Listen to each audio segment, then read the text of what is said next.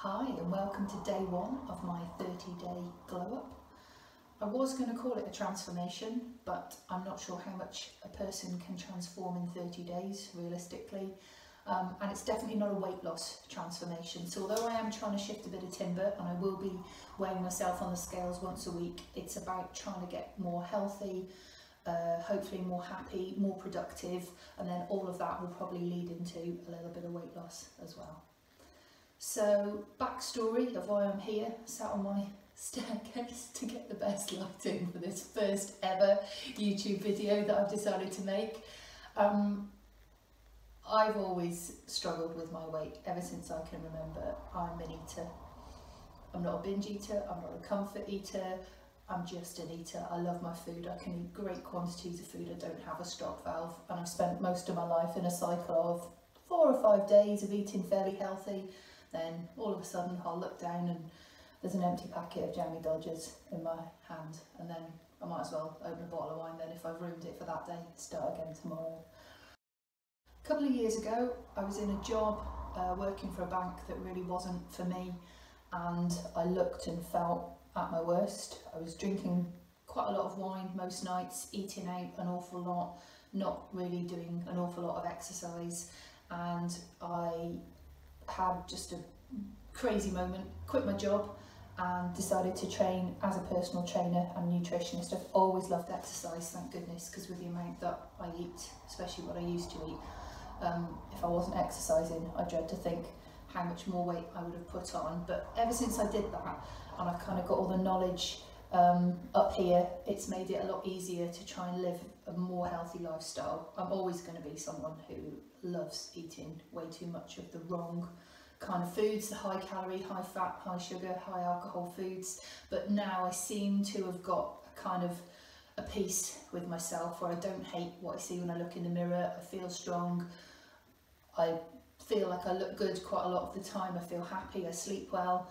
Um, so all was going well up until the end of last year when my baby sister got married and uh, me being a bridesmaid was a real good motivating factor last summer to keep me on track. So lost a few pounds, toned up, felt good, life was good. And then the day after the wedding, it was like, I don't know, distinctly underwhelmed, like had no get up and go. I was still exercising, but just started eating crap again, started drinking again.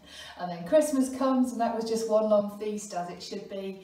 And then January, when the normal kickstart happens, it didn't happen.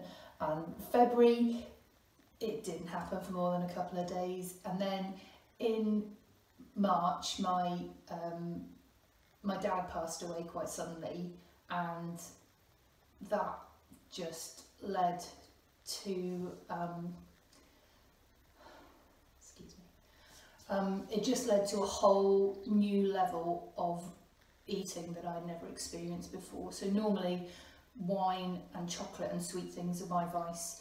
Um, this was just uh, just volume of food savory food normally. Um, you know psychologists would probably say it was trying to fill some sort of emptiness but it was crazy. It was you know, eight, nine, ten slices of toast slathered with butter. It was two portions of chips from the chip shop. It was an entire massive bag of crisps. It was just bowls of pasta.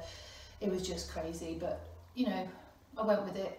Um, at least I was still doing the exercise, but I'm sat here now a few months later and I just, I'm back to, I've got all this here, my face has gone fatter again, and I'm just, I'm not really living a healthy lifestyle, especially as a PT, what a hypocrite.